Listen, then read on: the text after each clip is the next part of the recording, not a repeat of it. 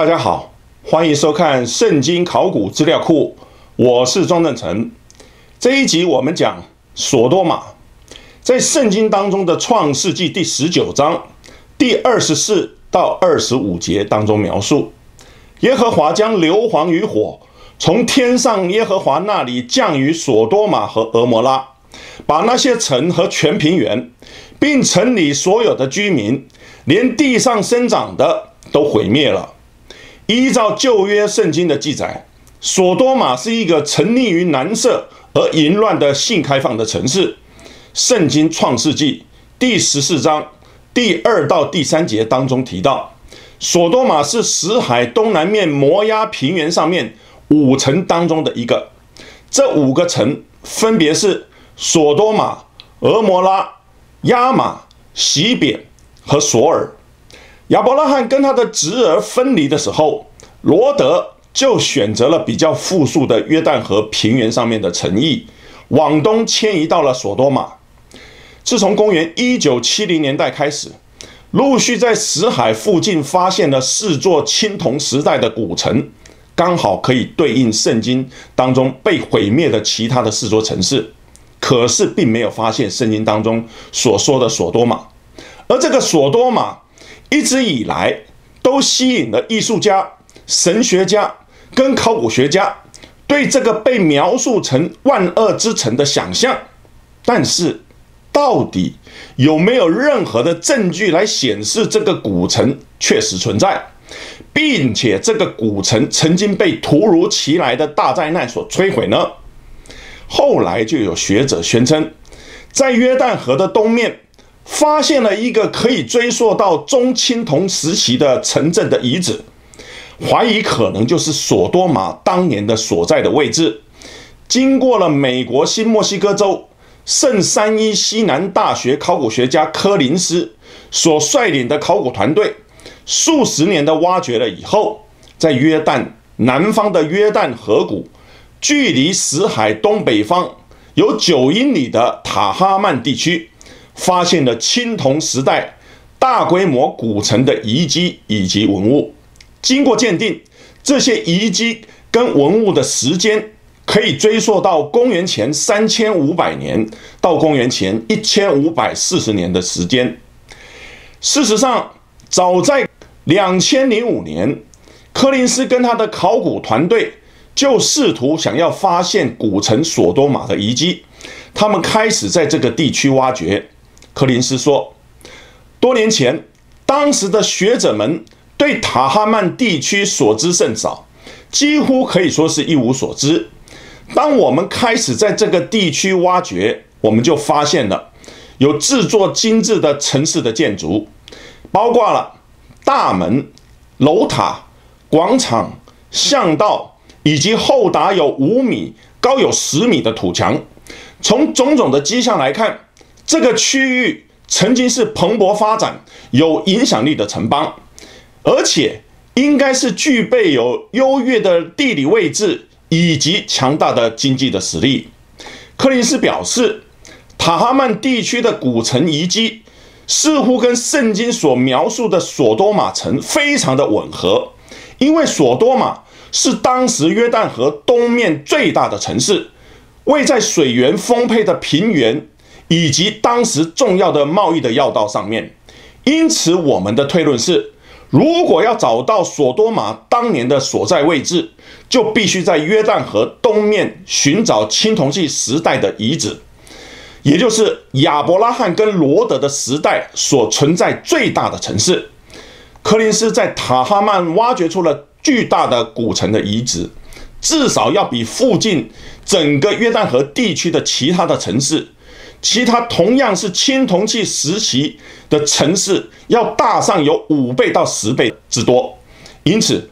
柯林斯相信这个地区极有可能就是当时索多玛城位置的所在。根据创世纪第十九章第二十七到二十九节说，亚伯拉罕清早起来，到了他从前站在耶和华面前的地方，向索多玛和俄摩拉。与平原的全地观看，不料那地方烟气上腾，如同烧窑一般。当神毁灭平原诸城的时候，他纪念亚伯拉罕正在倾覆罗德所住之城的时候，就打发罗德从倾覆之中出来。而根据出土的遗迹以及文物显示，这个青铜器时代的古城，它的鼎盛时期似乎突然莫名其妙的终止，而且结束在中期的青铜时代，并且接下来有将近七百年的时间，成为不适合人居住的荒芜贫乏之地。克里斯说，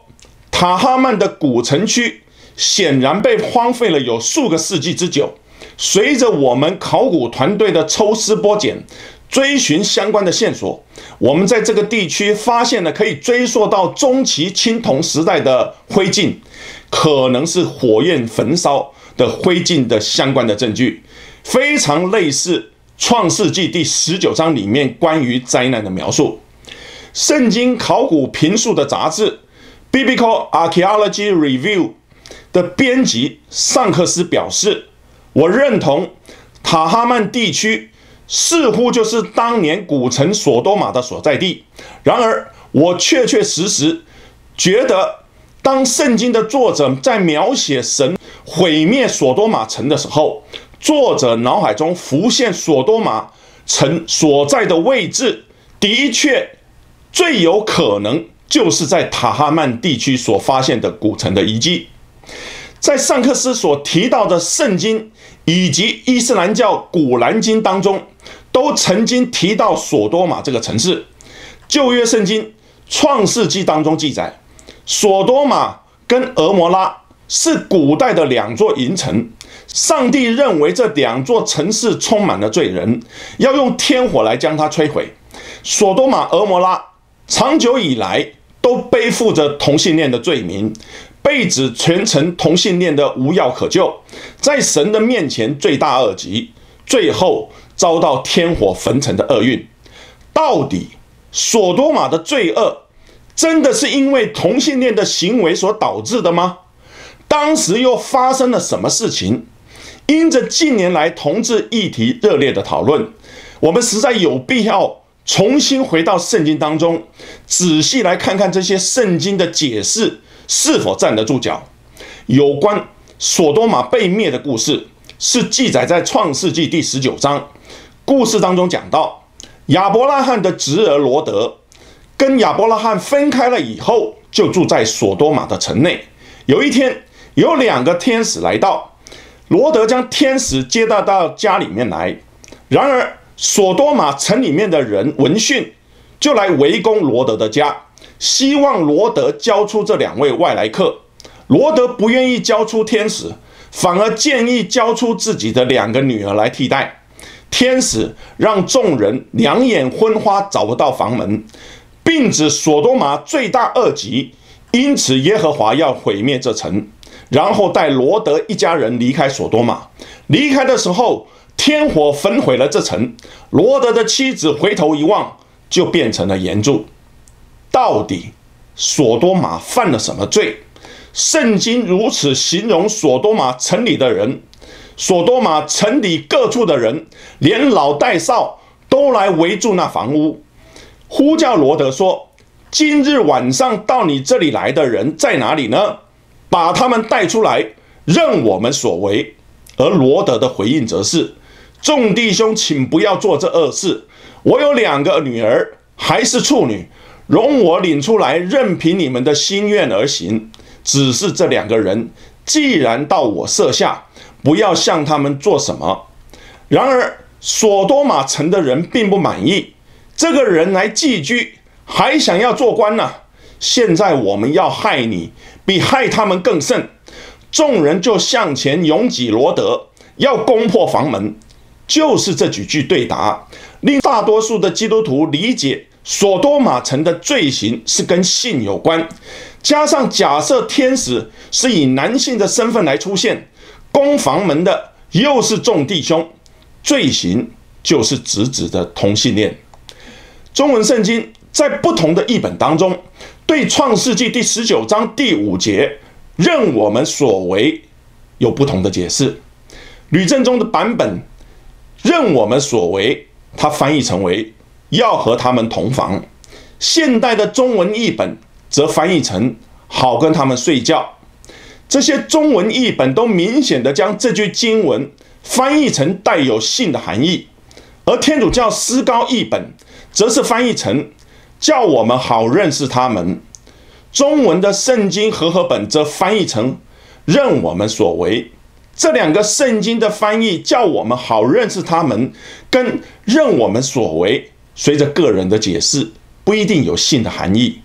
这或许让读者们怀疑。是不是这段经文所说的有关索多玛背面的故事，跟同性恋的行为不一定有关系？事实上，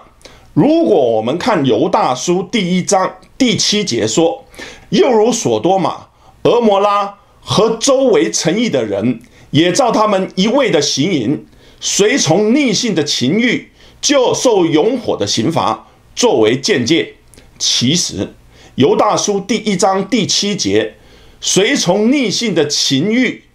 这个段经文的原文是追求另类的肉体。虽然追求另类的肉体有可能是指着同性之间的性行为，但是也有一部分的解经家认为，这种追求另类的肉体的意思是有可能指着人。跟天使发生性关系，而不一定是同性之间的性行为。这些解经家们认为，因为在创世纪第六章第二节当中提到，神的儿子娶人的女子，因为犹太人认为神的儿子就是天使，所以所谓的追求另类的肉体的意思，指的是人跟天使发生性关系。并不是指同性之间的性行为，所以有没有可能这个不是同性恋，而是跟其他物种的交合？在创世纪第六章第一到第六节当中就如此的记载：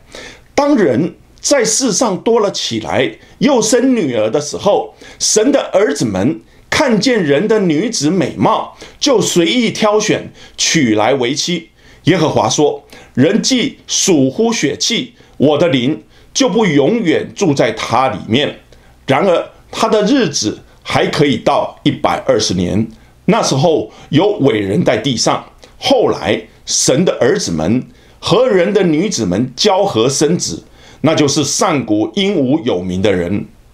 另一种物种的神的儿子曾经跟人交合，那么天使会跟人交合就不难理解了。而人既属乎血气，因为耶和华不喜欢神的儿子，或是所谓的天使跟人交合。从耶和华的角度是可以理解的。如果是这么解释的话，索多玛被灭的故事，也许是跟同性恋的行为无关。有没有一种可能，就是古时候社会的婚姻制度是跟现在不同的？如果你仔细的看整本圣经。有很多地方是提到兄终弟及制，或者是一夫多妻制的状况，所以会不会索多玛是实行群婚制？在母系的社会里面，如果所生的子女是跟妈妈长大的话，父亲是谁并不重要。而事实上，仅存的母系社会，例如以云南的摩梭族的走婚制度，给我们一个具体的示范，也就是舅父姨母。妈妈一起来照顾子女，可以知道父亲是谁，但是父亲并不参与供养子女，而是供养他们的姐妹所生的子女，也就是外甥。所以当时围绕罗德房门想要跟天使发生性行为的，其实是女人，而他们只是想跟外来的男子来交合，生一个混血儿而已。事实上，当时的罗德的回应是。众弟兄，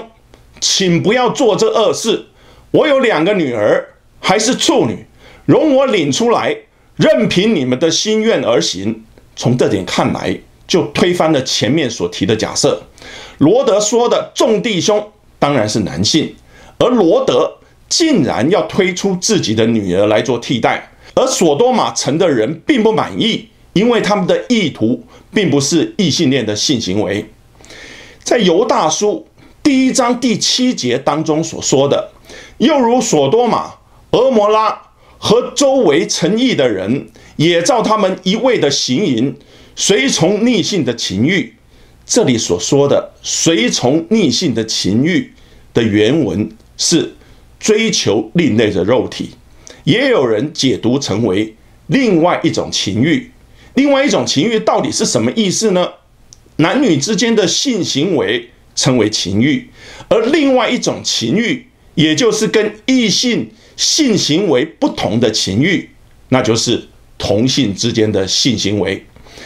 在哥林多前书第六章第九到第十节当中，使徒保罗说：“你们岂不知不义的人不能承受神的国吗？不要自欺。”无论是淫乱的、拜偶像的、奸淫的、做恋童的、青蓝色的、偷窃的、贪婪的、醉酒的、辱骂的、勒索的，都不能承受神的国。当中这个做恋童的原文希腊文叫做 malakos，都是用在男性的身上。许多圣经的学者都认为 malakos。指的就是在男性同性恋的性关系当中，被动的那方就叫做马拉 cos，主要是针对人在性行为当中所扮演的角色来认定的。在同性恋性行为当中，扮演被动的那方通常都是被认为失去了男性的气概，所以使用马拉 cos 这个字来描述它。在希腊文当中，这个马拉 cos。也常常用来嘲笑或者是贬低某些异性恋者，就好像现代人也会嘲笑那些他虽然是异性恋的男性，但是因为举止比较女性化，也就是俗称的娘娘腔这一类的男性。在古罗马当时的男妓的确会打扮的比较女性化，来吸引男性的顾客，而且在进行同性恋性行为当中，他们通常是采取被动者的姿势。所以，中文圣经和合本将 “malakos” 这个字翻译成为“恋童。”，NIV 圣经版本则将 “malakos” 这个字翻译成为“男妓”，而哥林多前书第六章第九节接着 “malakos” 下一个字就是“青蓝色的”，原文是 a s a n a k o i t e s a s a n a k o i t e s 指的是男同性性行为当中采取主动的那一方 a s a n a k o i t e s 这个字也出现在旧约圣经立位记第十八章第二十二节当中。立位记的这段经文是说，不可与男人苟合，像与女人一样。这本是可证物的。希腊文的七十四译本立位记的这段经文用的就是。A s e n a c o i t e s 这个希腊字，指的是主动跟别人进行同性性行为的人。而使徒保罗在提到同性性行为的时候，保罗用顺性和逆性这两个词。在保罗的时代，斯多亚学派在当时所使用的字词性 （physis），正确的解释是自然律。也可以理解是为放诸四海皆准的道德律，而在当时的罗马社会，有许多人有同性恋的倾向，而当时的哲学家描述同性恋倾向的方式，说这是一种逆性，这种逆性是指着自己的性倾向违反了自然律，去喜欢同性，而且去进行同性之间的性行为，这样看起来。索多玛城的罪恶，真的是因为同性恋的行为所导致的。创世纪第十三章第十三节就提到，索多玛人在耶和华面前罪大恶极，因此索多玛这个词后来也变成了基督教里面代表罪恶以及同性恋的比喻。除了同性恋的恶行以外，以西结书第十六章。第四十九节也提到了索多玛其他的恶行。看呐，你妹妹索多玛的罪孽是这样：